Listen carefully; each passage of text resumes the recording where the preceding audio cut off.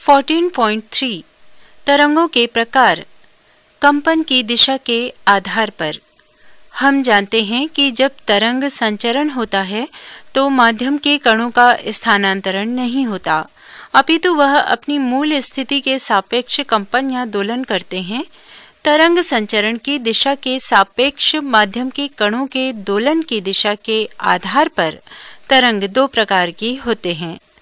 पहला, अनुदैर्ध्य तरंग लॉन्गिट्यूडिनल वेव्स दूसरा, अनुप्रस्थ तरंग ट्रांसवर्स वेव्स क्रियाकलाप पाँच। अ, अनुदैर्ध्य तरंगों का बनना। पहला, एक स्लिंकी स्प्रिंग नुमा प्लास्टिक लें। दूसरा, स्लिंकी के दोनों सिरे को पकड़कर आगे पीछे बारी बारी से खींचे और धक्का दें। तीसरा, अब स्लिंकी पर निशान लगा दें और उक्त क्रिया को पुनः दोहराएँ और इसे ध्यानपूर्वक देखें। चित्र क्रमांक सात, स्लिंकी में अनुदैर्ध्य तरंगों का बनना यहाँ सी संपीड़न आर विरलन को दर्शाता है। बच्चों, देखिए, मेरे पास प्लास्टिक की ये स्प्रिंग है और इस स्प्रिंग की सहायता से हम अनुदैर्ध्य तरंग को समझने का प्रयास करेंगे। इसके लिए हम इस स्प्रिंग को इस तरीके से फैला देते हैं।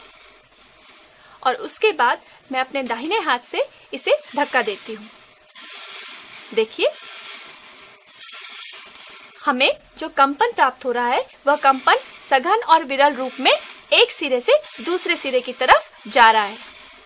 ये जो तरंगे हमें इस क्रिया में प्राप्त हो रही हैं, उन्हें ही हम अनुदैर्ध्य तरंगे कहते हैं। इस क्रियाकलाप में आपने देखा कि आगे पीछे धक्का देने और खींचने पर स्लिंकी में लगा चिन्ह भी विस्थापन के संचरण की दिशा के समानांतर दिशा में गति करता है। इस प्रकार की तरंगे अनुदैर्ध्य तरंगे कहलाती है।